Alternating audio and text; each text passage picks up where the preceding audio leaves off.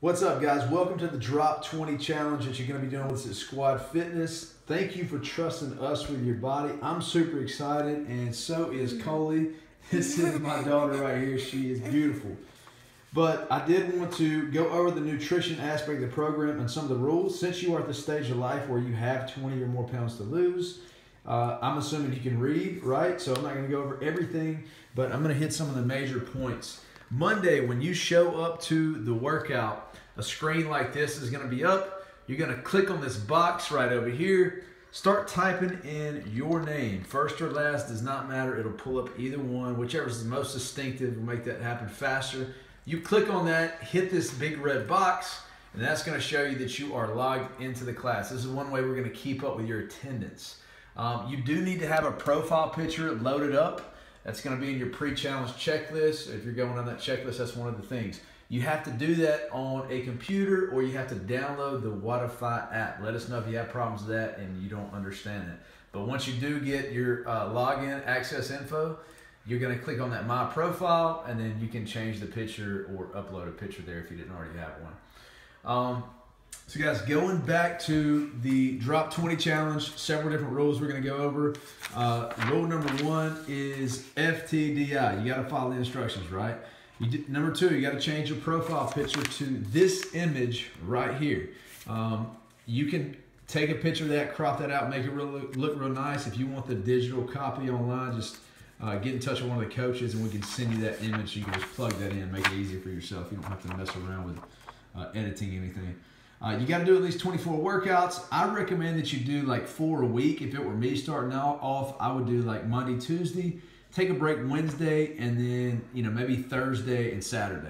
Um, I mean, that's up to you. You don't have to do it exactly like that, but just notice how I took those two breaks in there so I can recover and I'm not just killing myself. But I like two back to back that first week because that kind of helps you get over the soreness a little bit better just hitting that next workout. Um, guys, do not be late to the workout. Uh, we're not going to embarrass you or we're not going to say you can't work out with us because you didn't show up on time or anything like that. We're going to get you in the workouts because we don't want to discourage you from getting results, but we want to discourage you from being late so you will not be able to apply that towards your attendance. So if you come to a workout and you're late, you can still work out with us, but it will not check on your attendance. We will take you out of that uh, Wodify system so that doesn't count. Uh, when you do your workouts at some point throughout that day, Squad Fitness uh, official Facebook page. So that's going to be the Drop 20 Gardendale or the Drop 20 Homewood. Or sorry, that'd be Birmingham. Whatever location you're at, you need to be checking in there. And uh, there is a Q&A. If you're not familiar with that, you can flip to page 11. Q&A showing you exactly what that should look like and how to do that. Um, you do need to be tagging your coaches. It also tells you that in that Q&A. And so you definitely want to go ahead and friend them because once you friend them, then you can tag them in your post. Have fun with those posts. Really just want you to, uh, you know, promote our program, make it fun. Your friends are going to be seeing this. It's kind of annoying if you just put workout one, workout two. People get tired of seeing your stuff. So your friends are going to be see it. Be cool about it. Post some pictures and just have fun. Most importantly. Um, guys, don't ask us to make exceptions. Everything, everybody's gonna have something come up in the challenge, so we can't make exceptions to be fair to everyone. All the rules are uh, are in place for a reason. Um, you know, guys, we just want you to have a positive attitude. We're going to be doing everything in our power to help you lose the weight.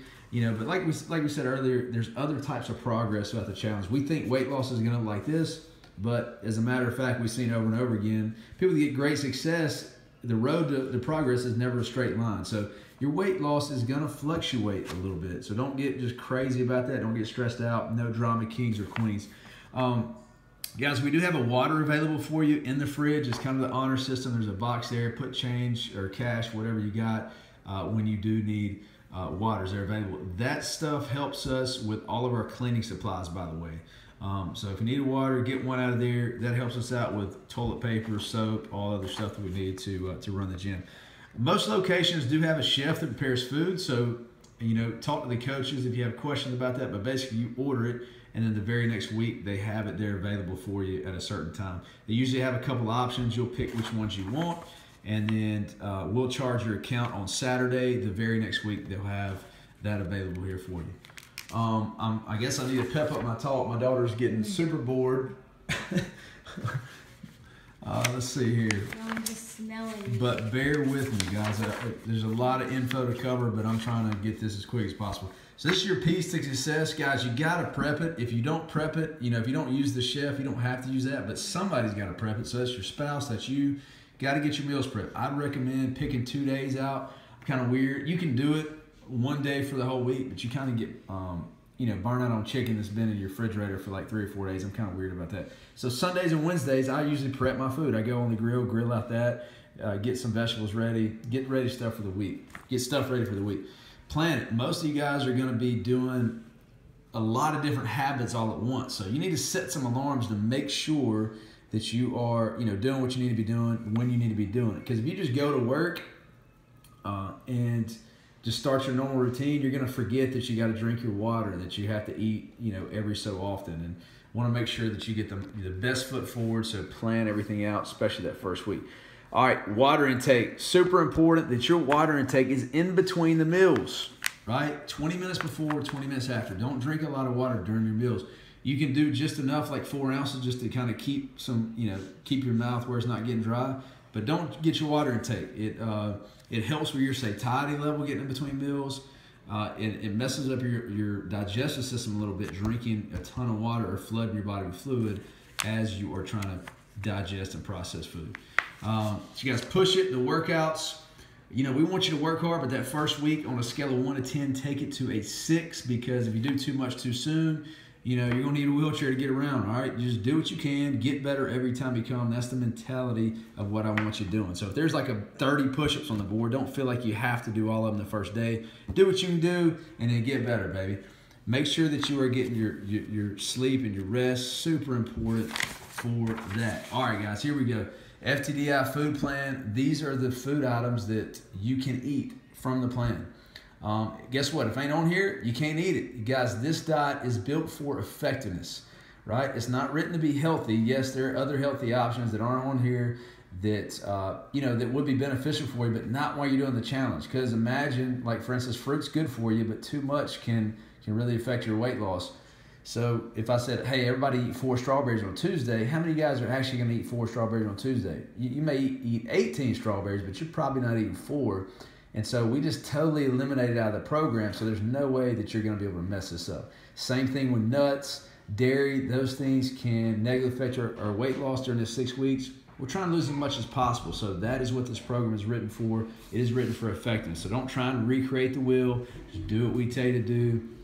Yes, it may get bland, but there's some condiments you can use and some ways you can spice that up as well. All right, so you got a protein list, carbohydrate list, vegetable. I'd recommend going through here, circling the food items that you like to eat. Proportion sizes are listed above. You don't have to weigh this out. You can if you want to, but you know, an ounce of chicken ain't gonna make you lose, you know, not lose the 20 pounds or not, right? So, uh, women's four ounces, that's the size of deck of cars. Men, deck and a half. Uh, closed fist for the carbohydrate options, and then vegetables are unlimited. So you can have, you get hungry, eat more vegetables, right? You can have as many vegetables as you want. So basically, guys, what you going to do is you're going to write down the time that you wake up in the morning. So if you normally wake up, you, you kind of pill around, read, go to the, uh, go to work, and then you eat breakfast. That's not a good idea. I want you, as soon as you wake up, that is your breakfast time. Two and a half to three hours later, that's your snack then two and a half, three hours later, and you just fill this up. So even if you work like a night shift or something weird, whatever time you wake up, that's when you got to eat, right? And then every two and a half, three hours later. Now, if you do have, um, you know, a situation where there's a job that you have where it's, it's hard to eat, you can't get away, maybe you're a nurse, definitely want to have some protein shakes as a supplement for a meal, you know, if that is needed. I'd rather do it just like this, but, you know, there are some situations where you know you got to make make do and do what you can um, when you are living a busy lifestyle. Pay attention to breakfast, lunch, and dinner. There's a protein, a vegetable, and a carbohydrate option. Please do not skip the carbohydrate. A lot of people say, "Hey, I've done a low carb diet before. It's worked for me, so I'm gonna just take these carbs out." That affects our ability to manipulate your diet later in the program and uh, can affect your energy level in a negative way when you're starting this intense workout program. So make sure those are in. Doesn't have to be these exactly. You just take. So hey, say you hate fish, you're not going to do that. You take uh, another protein from this list, put that over here, and then bam, you're done. All right, guys, you'll notice in the snack times, it is uh, a scoop of a protein powder that we have for you. Uh, so you don't have to do the protein, but it's just going to make your life easier during the challenge. You're going to get tired of just eating like chicken and vegetables all the time. So um, you know those are going to help satisfy sweet tooth. We have some phenomenal flavors like chocolate. Uh, you know, strawberry. We usually have some kind of vanilla peanut butter, chocolate peanut butter. Check with the trainers on which which uh, flavors that we have available. But we, um, you know, we have those available just to make your life easier during the challenge. Uh, excuse me. So if you are a vegan, there is don't freak out. Uh, should have said this earlier since you know we're looking at all that other stuff. If you are vegan. This is another meal plan separate for you that you can do um, as a vegan. But your your you know food items you can eat are still on this page. Uh, but here's just a sample day for you on how to plug those in. Uh, all right, so condiments and drinks that you can have. This are ways you can kind of spice up your food a little bit. Yes, there's no alcohol. You're like, I got to do this sober. Yes, you do. Uh, I'm not going to say that if you had a drink, it's going to not make you lose 20 pounds, but it will negatively affect your results. And because we're trying to get the maximum results possible, we strongly discourage you just omit it altogether during the six week program. And guys, I talked to you about protein shakes earlier. We have supplements here available for you. And the reason why we have them is we used to send people to GNC. They'd always come back with the wrong thing. They'd have stuff that may, you know, maybe more for like a bodybuilder where they're trying to gain weight.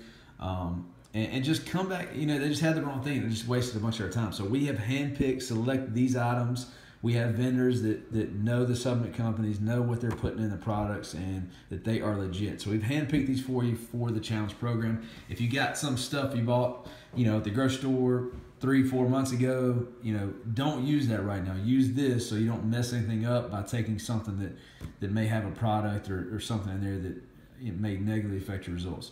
Uh, but you may not need everything on here.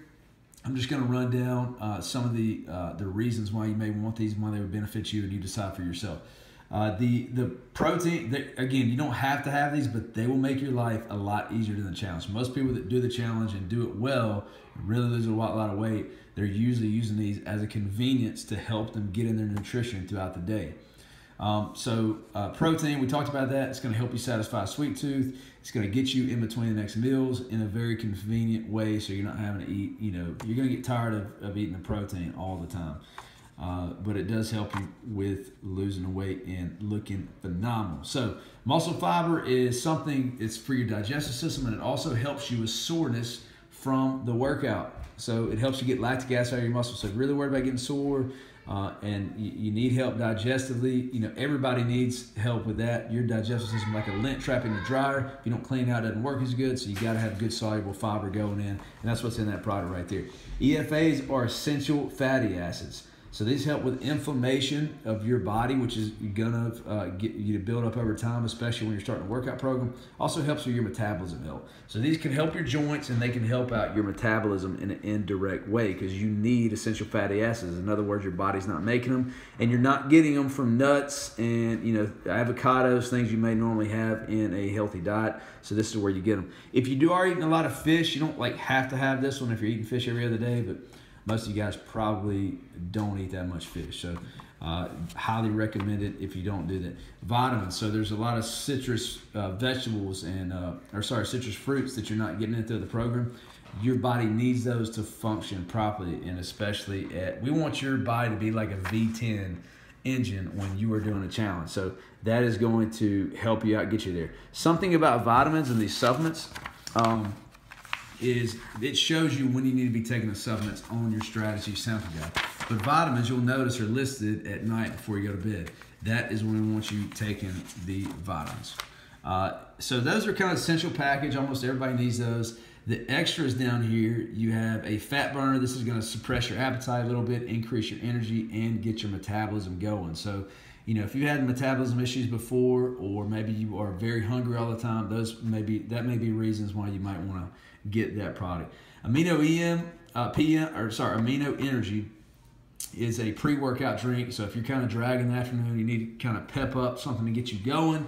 That's what you would do. Or if you're a big coffee drinker and you, you struggle drinking coffee without a bunch of creamer because you notice there's no dairy on the program, you know, you can definitely get that amino energy to kind of supplement with your coffee. I'm going back to this right here where it talks about that. So you can have that stuff, but only if it has these condiments and these sweeteners that we have available. You can't you obviously pour up a bunch of sugar and caramel and whipped cream on your on your coffees while you're doing the challenge. It's a big no-no. Primal joint spray. If you have joint